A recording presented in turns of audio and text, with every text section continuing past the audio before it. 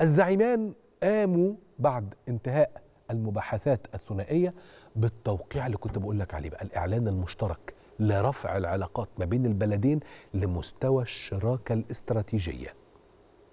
شراكه استراتيجيه يعني الشراكة بعيدة وطويلة المدى، إحنا مش بنتشارك على ملفات، مش بنتشارك على مشروعات، مش استثمارات هندية في مصر واستثمارات مصرية في الهند، المسألة أبعد من كده بكتير. حدث ولا يوجد أي حرج. حدث كيفما شئت على هذه العلاقة والشراكة رفيعة التميز.